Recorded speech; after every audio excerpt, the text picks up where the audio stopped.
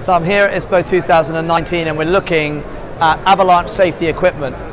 I've come along to the RECCO stand. We've looked at transceivers, pro probes and shovels and avalanche airbags. The RECCO system has been around for a long time. It's really well known and RECCO integrate their system into many, many brands of ski jackets and ski pants as well. It's a very well-known system, but it's sometimes misunderstood.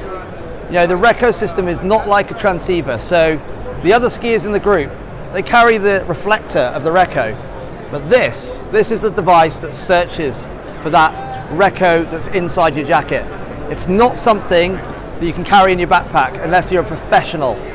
The RECCO system used to be pretty large. They've got it down to quite a small size now, so professionals can carry that in their backpack 900 ski resorts have this system in place. And actually, in Chamonix, for example, there's about 16 in the resort that are placed in strategic areas of where there might be, you know, avalanche situations. The thing is, you should always carry, if you're skiing off-piste and backcountry, you should always carry a transceiver, probe and shovel. And really importantly, you should know how to use those devices as well. And everyone in the group must have that equipment with them. But the RECCO is a fantastic backup device. Ortovox here, this is an Ortovox transceiver 3 Plus. They have integrated a RECCO into the transceiver. Why have they done that? Because they know that RECCO works and they know that actually it forms part of the overall package of what you should have if you're going into the backcountry.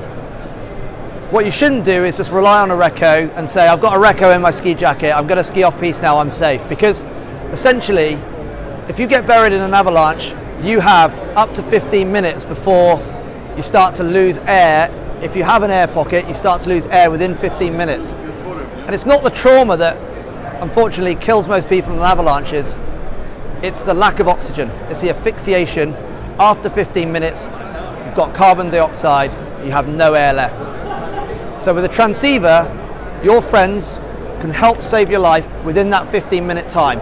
Probably a lot less than that if you're really good at using a transceiver, maybe up to you know five minutes, for example. With a RECCO system, you've got to rely on a professional getting to the scene, which could take a little bit of time.